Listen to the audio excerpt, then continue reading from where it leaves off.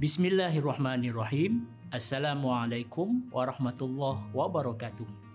Alhamdulillah, bersua kembali dalam program PQS anda. Apa khabar murid-murid? Saya guru anda yang akan berkongsi info dan maklumat berkaitan dengan bidang ulumul Quran. Tajuk perbincangan kita pada hari ini ialah ilmu tafsir dan kitab-kitab tafsir. Anda mungkin pernah membaca Al-Quran dan menghayati terjemahannya agar dapat memahami kandungan ayat Al-Quran yang anda baca.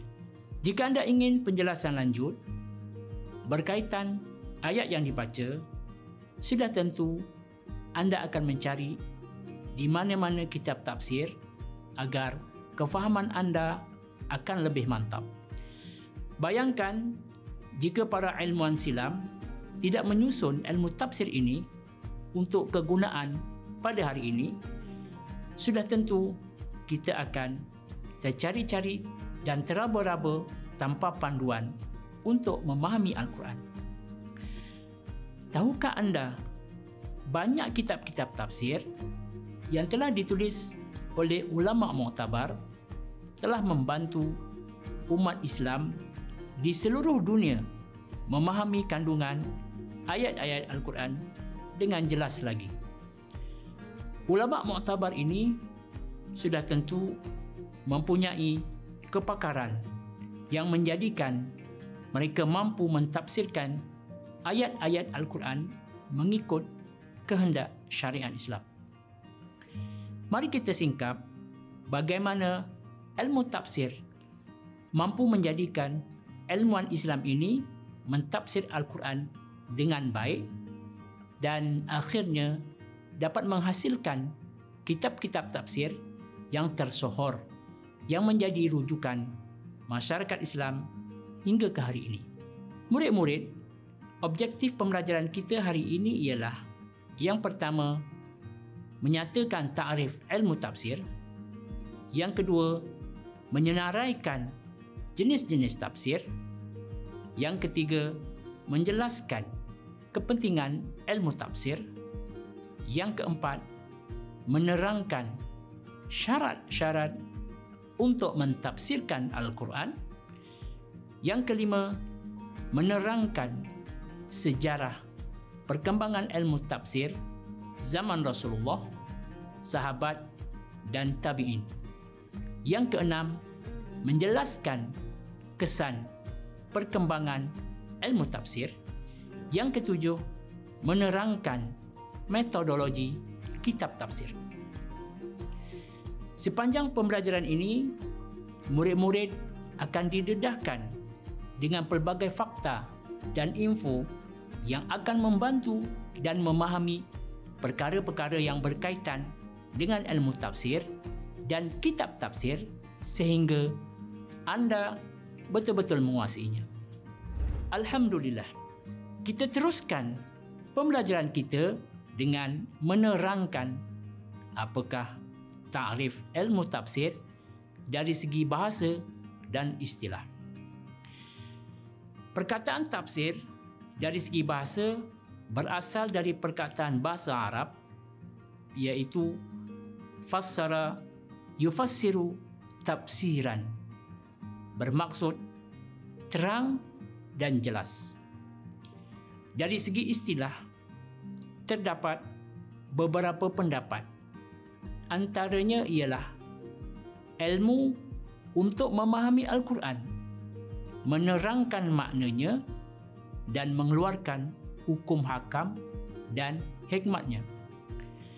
Murid-murid yang dihormati sekalian, berdasarkan pengertian di atas, kita boleh simpulkan bahawa ilmu tafsir ini dapat membantu kita untuk memahami Al-Quran dengan menerangkan maksud yang tersirat dan daripada kefahaman tersebut kita dapat menentukan apakah status pernyataan tersebut sama ada kita wajib laksanakan atau sebagainya.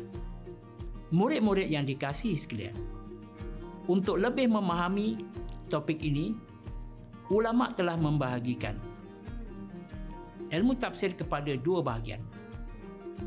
Yang pertama, tafsir bil maksur. Yang kedua, tafsir bil ra'i. Apakah penerangan bagi kedua-dua tafsir tersebut? Mari kita lihat penjelasan berikut. Tafsir bil maksur ialah satu kaedah pentafsiran Al-Quran berasaskan perkara berikut. Mentafsirkan Al-Quran dengan ayat Al-Quran yang lain. Tahukah murid-murid cara tafsiran ini adalah yang paling tepat? Kaedah yang kedua bagi tafsir bil maksur ialah tafsiran ayat Al-Quran oleh hadis Rasulullah sallallahu alaihi wasallam iaitu ayat Al-Quran yang umum atau mutlak ditafsirkan oleh hadis Rasulullah sallallahu alaihi wasallam. Kaedah yang ketiga bagi tafsir bil maksur ialah tafsiran ayat Al-Quran oleh ijtihad dan pandangan para sahabat. Ijtihad atau pandangan para sahabat dalam mentafsirkan Al-Quran adalah diterima kerana para sahabat hidup sezaman dengan Rasulullah sallallahu alaihi wasallam dan mereka bersifat adil. Manakala tafsir Bira'i pula ialah ahli tafsir mentafsirkan Al-Quran lebih banyak berdasarkan pendapat atau ijtihad mereka sendiri. Bagaimana kefahaman murid-murid sekarang? Adakah anda memahami pengertian tafsir dan jenis-jenis tafsir dengan baik. Bagus kerana memberi tumpuan pada pembelajaran kita pada hari ini. Mari kita teruskan penerangan ilmu tafsir ini. Murid-murid yang dihormati sekalian, kita telah mengetahui jenis-jenis tafsir. Jadi sekarang kita teruskan perbincangan kita dengan menyingkap apakah syarat-syarat yang mesti dipenuhi untuk menjadi seorang pentafsir Al-Quran yang baik. Pertama, seseorang itu mestilah mahir dalam bahasa Arab yang meliputi ilmu nahu dan saraf.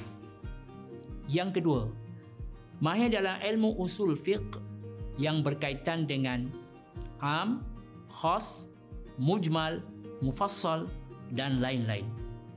Yang ketiga, mahir tentang ilmu qiraat dan perkara yang berkaitan dengannya seperti bacaan mengikut imam-imam tertentu.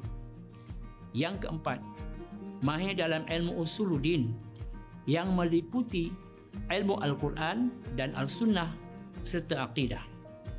Yang kelima, mahir dalam ilmu mubalaghah yang terdiri daripada ilmu ma'ani, ilmu bayan dan ilmu badi'. Yang keenam, mahir ilmu asbabun nuzul atau sebab turun ayat. Yang ketujuh, mahir tentang ilmu nasah dan mansuh. Yang kelapan, mahir tentang hadis dan ulum hadis. Dan yang kesembilan, mahir dalam ilmu fiqh. Tahukah murid-murid, penguasaan mereka dalam ilmu yang dinyatakan di atas adalah sangat penting agar mereka dapat mentafsirkan Al-Quran dengan betul dan tepat. Murid-murid sekalian, ilmu tafsir mampu membantu umat Islam memahami maksud Al-Quran dengan betul dan menghindarkan dari salah faham ketika mentafsirkan Al-Quran. Justru itu ilmu tafsir memberi faedah dan kelebihan bagi mereka yang mempelajarinya. Oleh sebab itu, kepentingan mempelajari ilmu tafsir ini boleh dirumuskan seperti berikut. Yang pertama, mampu mentafsirkan Al-Quran dengan baik kerana mengetahui latar belakang ayat seperti bila dan di mana ayat itu diturunkan. Yang kedua, memahami metodologi ulama mentafsirkan Al-Quran sama ada mengikut kaedah bil ma'thur atau bil ra'i. Yang ketiga, dapat mengelak dan menghindarkan unsur-unsur penyelewengan ketika proses mentafsirkan Al-Quran. Yang keempat, dapat memandu manusia untuk berjaya hidup di dunia dan akhirat serta hidup dalam hidayah Allah kerana sentiasa berpegang dengan ajaran Islam yang sebenar. Yang kelima, memantapkan akidah seseorang serta menjadikan ibadah semakin mantap dan berkualiti kerana faham dengan kehendak Al-Quran. Murid-murid yang dihormati sekalian, marilah kita sentiasa menjadikan ilmu tafsir sebagai salah satu alat yang dapat memahami Al-Quran dengan jelas agar hidup sentiasa mendapat pedoman dari Allah Subhanahu wa taala. Tahukah murid-murid para sahabat Rasulullah seperti Sayyidina Abu Bakar adalah antara orang-orang yang masyhur dalam mentafsirkan Al-Quran. Murid-murid yang dihormati, sejarah ilmu tafsir bermula sejak Al-Quran mula diturunkan dan terus berkembang hingga ke hari ini. Rasulullah sallallahu alaihi wasallam adalah seorang mufassir Al-Quran yang ulung kerana baginda memahami setiap ayat Al-Quran yang diturunkan. Apabila Al-Quran diturunkan oleh malaikat Jibril kepada baginda, baginda akan terus menghafaz ayat tersebut. Kemudian baginda akan terus menyebarkan kepada para sahabat dengan memberikan maksud dan pengajaran secara umum atau terperinci. Penjelasan Rasulullah sallallahu alaihi wasallam dalam mentafsirkan ayat Al-Quran kepada para sahabat adalah melalui cara mentafsirkan dengan ayat Al-Quran yang lain atau melalui hadis baginda sallallahu alaihi wasallam sendiri. Kemudian para sahabat akan menghafaz ayat tersebut. Sekiranya para sahabat menghadapi masalah dalam memahami Al-Quran. Mereka akan merujuk terus kepada Rasulullah sallallahu alaihi wasallam. Untuk maklumat tambahan murid-murid, pada masa ini ilmu tafsir tidak ditulis secara tersusun dan tidak dibukukan tetapi hanya berkembang secara lisan iaitu melalui talaqi dan musafah zaman sahabat. Murid-murid sekalian, sekarang kita berpindah kepada sejarah pentafsiran Al-Quran zaman sahabat.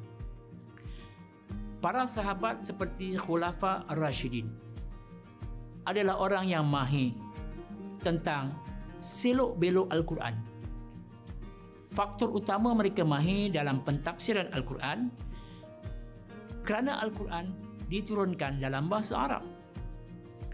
Selain itu, mereka hidup sezaman dengan Rasulullah sallallahu alaihi wasallam serta sempat melihat suasana Al-Quran diturunkan.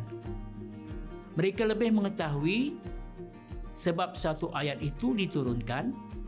Namun begitu, kefahaman antara sahabat adalah berbeza dan bergantung kepada keakraban mereka bersama Rasulullah sallallahu alaihi wasallam.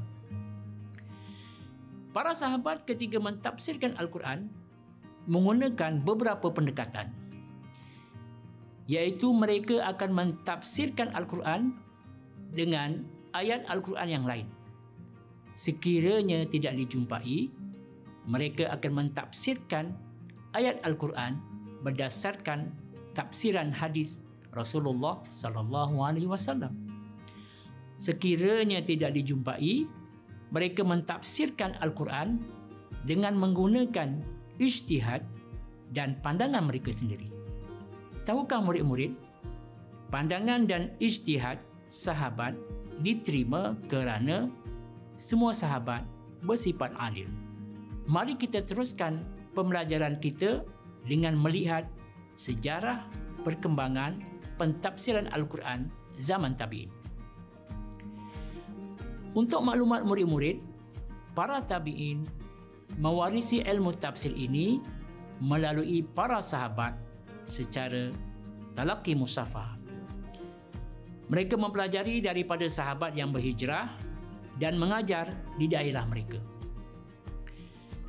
Murid-murid sekalian, dalam mentafsirkan Al-Quran ini, para tabi'in berpegang kepada riwayat yang bersandarkan kepada Rasulullah sallallahu alaihi wasallam, sahabat dan tabi'in sendiri juga mengadakan istinbat atau rumusan berdasarkan kaedah bahasa Arab. Untuk makluman murid-murid, pada akhir pemerintahan Bani Umayyah dan awal Bani Abbasiyah, satu usaha telah dilakukan untuk membukukan ilmu tafsir ini sebagai satu disiplin ilmu yang berasingan untuk panduan umat Islam. Antara tokoh yang terlibat dalam menulis ilmu tafsir ini ialah Yazid bin Harun As-Sulami dan Syu'bah bin Hajjaj. Murid-murid yang dihormati sekalian, ilmu tafsir telah memberi kesan yang positif dalam perkembangan tamadun manusia. Ia telah memberi nafas baru dalam kehidupan umat Islam kerana mereka telah memahami konsep kehidupan yang sebenar mengikut acuan Al-Quran. Kesan perkembangan ini tidak hanya dirasai oleh umat Islam, malah masyarakat bukan Islam sendiri mendapat manfaat kerana pergaulan yang erat dengan masyarakat Muslim. Murid-murid antara kesan yang dapat dirumuskan ialah melahirkan ramai mufassirin yang mahir dalam mentafsirkan Al-Quran kerana menepati syarat-syarat mufassir dan mengetahui selok-belok ilmu tafsir. Melahirkan ilmu-ilmu baru seperti ilmu falak kerana banyak tuntutan ayat Al-Quran dapat dilaksanakan. Contohnya, memahami kewajipan solat menyebabkan perkaitan dengan waktu bila ia wajib dilaksanakan. Melahirkan sebuah masyarakat yang berilmu dan bertamadun kerana banyak khazanah ilmu yang dapat dicungkil dari Al-Quran untuk diamalkan dalam kehidupan. Murid-murid yang dihormati sekalian, setelah kita mempelajari sejarah dan kesan perkembangan ilmu tafsir, mari kita lihat pula contoh kitab tafsir yang muktabar dan cara penulisan kitab tafsir tersebut. Yang pertama, kita lihat kitab tafsir Al-Qurtubi. Kitab tafsir ini ditulis oleh Abu Abdullah Muhammad bin Ahmad Al-Qurtubi. Kitab tafsir ini tergolong dalam kategori tafsir bil ma'thur. Kebanyakan pendapat ulama yang menjadi rujukan dinyatakan sumber asalnya. Semua hadis Rasulullah sallallahu alaihi wasallam yang terdapat dalam tafsir ini dinyatakan perawinya secara terperinci. Kitab tafsir kedua pula ialah kitab tafsir Ibnu Kathir. Untuk maklumat murid-murid, kitab ini dikarang oleh Imaduddin Abdul Fida Ismail bin Omar bin Kathir Ad-Dimsyaqi. Kitab ini tergolong dalam kategori tafsir bil ma'thur. Cara penulisannya ialah dengan menulis ayat Al-Quran kemudian mentafsirkannya dengan cara yang mudah dan ringkas. Kebanyakan hadis yang digunakan untuk mentafsirkan ayat Al-Quran ini dinyatakan sumber pengambilannya walau bagaimanapun masih ada hadis-hadis yang tidak dinyatakan statusnya sama ada sahih atau sebaliknya. Seterusnya murid-murid yang dihormati sekalian, kita lihat kitab tafsir Fi Zilal Al-Quran. Kitab ini ditulis oleh Asy-Syahid Said Kutub bin Ibrahim Kitab tafsir ini satu-satunya dalam kajian kita tergolong dalam kategori tafsir birra'i. kitab ini dikarang berdasarkan kajian yang mendalam tentang Al-Quran dan hadis di samping bersandarkan kitab tafsir Mu'tabar. Kitab ini tidak membincangkan soal ilmu kalam, ilmu fiqh dan cerita-cerita tambahan Israeliat. Di samping itu, kitab ini juga tidak mengandungi perbahasan tentang bahasa. Penulis kitab ini lebih suka membuat tafsiran bersifat semasa atau contemporary yang lebih cenderung kepada tafsiran haraki atau dakwah berdasarkan pengalaman beliau sendiri. Kita lihat pula kitab tafsir terakhir dalam kajian kita iaitu kitab tafsir Al-Quranul Hakim. Kitab ini ditulis oleh Mustafa Abdul Rahman Mahmud. Kitab tafsir ini termasuk dalam kategori tafsir bil maksur. Keistimewaan kitab tafsir ini ditulis berdasarkan kitab tafsir Al-Maghari iaitu salah satu kitab tafsir yang muktabar. Metod penulisan kitab ini ialah memberi makna ayat kemudian diikuti dengan penerangan sederhana. Sebab itu, kitab tafsir ini boleh dianggap sebagai tafsir yang mudah difahami. Murid-murid yang dikasih sekalian, untuk memastikan anda memahami keseluruhan topik yang kita pelajari hari ini, mari kita cabar minda kita dengan menjawab soalan berikut. Baiklah murid-murid, seperti yang telah dinyatakan di dalam objektif pembelajaran di awal tadi, mari kita uji minda dengan beberapa soalan berkaitan tajuk hari ini. Soalan pertama, antara berikut yang manakah bentuk pentafsiran Al-Quran yang dilakukan oleh para sahabat. A. Menggunakan kaedah istihsan B. Menggunakan kaedah qiyas C. Menggunakan kaedah ijma' dan D. Menggunakan kaedah ijtihad. Apa jawapannya murid-murid? Ya, jawapannya ialah D. Soalan kedua. Siapakah penulis kitab tafsir Ibn Kathir. A. Ash-Shahid Said Qutub bin Ibrahim B. Mustafa Abdul Rahman Mahmud C. Abu Abdullah Muhammad bin Ahmad D. Imaduddin Abdul Fida Ismail Ustaz menunggu jawapan anda. Jawapannya ialah D. Soalan ketiga, bidang ilmu yang wajib dikuasai untuk mentafsir Al-Quran ialah satu ilmu fiqh dua ilmu nahu tiga ilmu akal empat ilmu hadis.